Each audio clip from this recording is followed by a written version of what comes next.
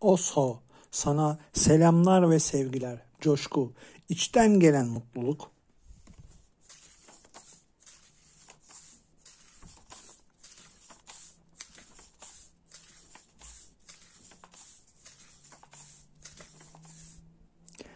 Şayet uyuyorsan o zaman zevk mutluluktur. Bizim mutluluk dediğimiz şey kişiye göre değişir.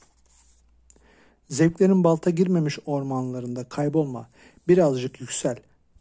Zevk hayvanidir, mutluluk insanidir. Saadet ilahidir. Para seni efendi yapmaz, o seni köle yapar.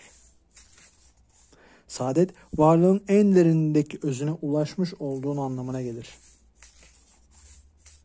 Para güç, prestij bunlar hep seni hilekar yapar. An içinde senin olmakta olan her şeyi kullan ama sahiplenme. Mutlulukla ilgili olarak anlaşılması gereken ilk şey onun uygulanamaz oluşudur. Karakterini değiştirmek kolaydır. Esas iş bilincini değiştirmekte, bilinçli hale gelmekte, daha bilinçli, daha yoğun ve tutkulu bir şekilde bilinçli olmakta yatar.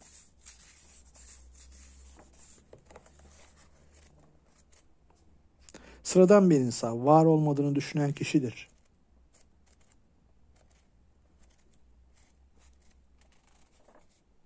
Eğer mutluluğun bir koşula bağlı ise mutsuz kalacaksın. Zihin asla senin mutlu olmana izin vermez.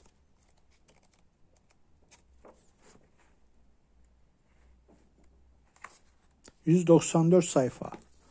Osho, coşku.